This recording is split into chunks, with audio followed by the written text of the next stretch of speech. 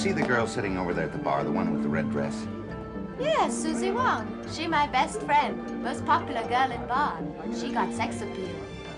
Why you ask for me? Well, you're easily the prettiest girl in Hong Kong. You think so? I thought so from the first moment I saw you.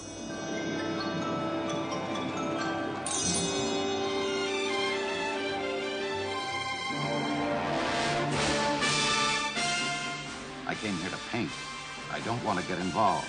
Well, we'll just have to find you another model. Without painting, you'd die inside. I love her.